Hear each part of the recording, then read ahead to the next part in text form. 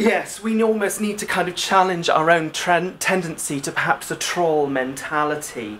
Um, yes, that's. Um, but uh, all I can say is, yeah, we need to kind of start also finding how to be kind of also supportive.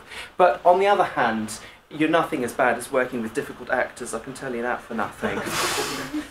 um, our core is small. Yeah, I mean, it's almost um, it's almost us here. Yeah, there are yeah perhaps a few empty seats for for a, a few other board members, NEC members.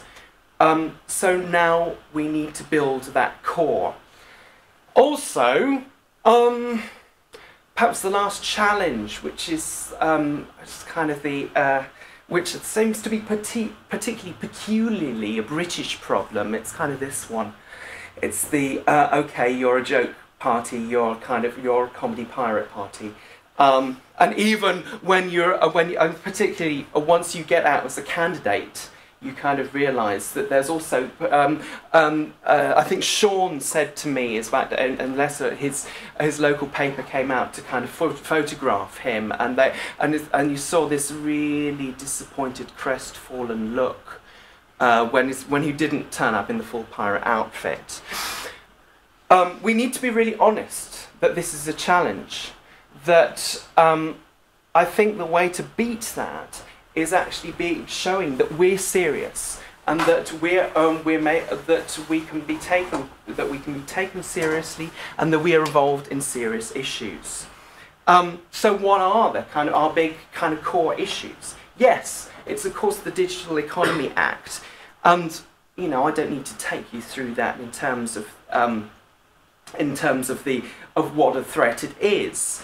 Um, to me, um, I think what's extraordinary, you see what's happening in North Africa now, is you see, um, oh, do we want to give the Parliament down there, down there, whichever way it is, down in down in Westminster, the same kind of powers as Mubarak? No, we do not.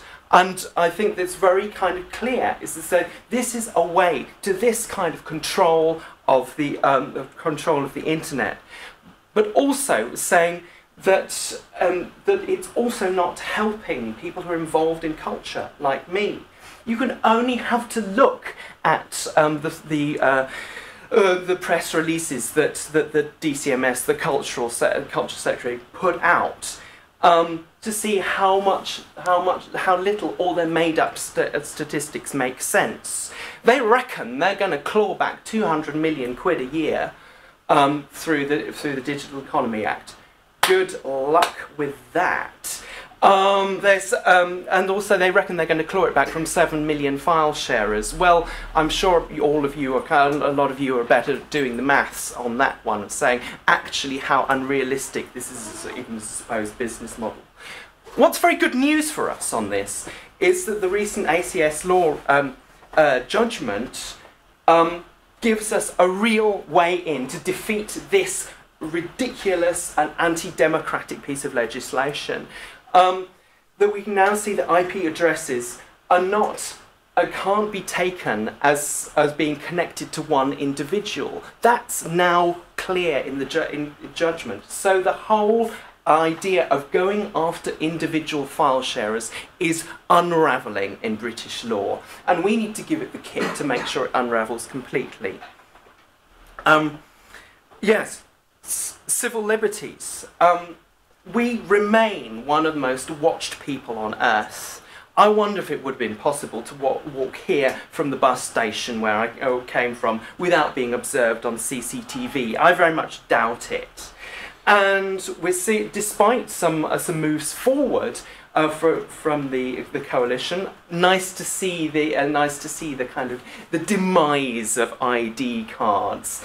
Um, for example, but things like control orders are re- being rebranded. We have kettling. Um, you're going go down to, to, see demonstrations, and you think see things like bloody sound weapons tr- tr- trundled up on the streets uh, on the streets of um, uh, cities in the UK. Um, we've seen things like the Twitter joke trial. Um, where somebody's just handed for making um, making a flippant comment on um, a flippant comment on, on Twitter. Um, I think what's really important is that we need to prior- prioritize this area. As I know that in terms of, of, of, people coming to me, a lot of people asking me about file sharing, um, but not so many people are talking civil civil liberties. I think where we've shown our commitment to civil liberties and a transparent politics is through our support for WikiLeaks. And this is where we managed to break through in the media, is that we're not just now be, being asked to talk about, okay, well, we're the go-to people for file sharing or piracy, but actually we're in the heart of some of the most key, um, the key uh, issues in terms of transparency in politics and uh, civil liberties. So we need to be as much more associated with that.